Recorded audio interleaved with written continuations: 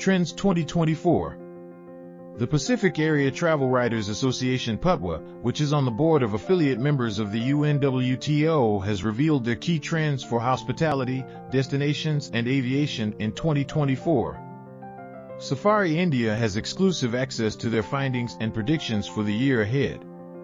1. Airports that save time. Passengers will want their wait time and transits at airports to get shorter and simpler. Tech-enabled check-ins, facial recognition, no boarding cards, visa-free travel. 2.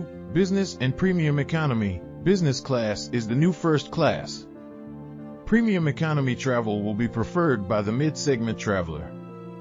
Low-cost airlines will need to have better service to remain relevant. 3. Benefits. Frequent flyers will want faster points, upgrades, priority check-ins, extra baggage allowances, and expect many other extras for their loyalty and patronage.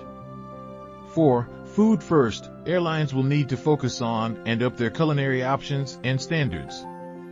Organic, vegan, vegetarian, and regional food and refreshments will become preferred options. Meals will need to get bigger and better. 5. Service with a smile, in-flight and ground crews will need to become warmer, more caring and understanding. Glamour is back and airlines will need to ensure their people look good and are both aspirational and inspirational.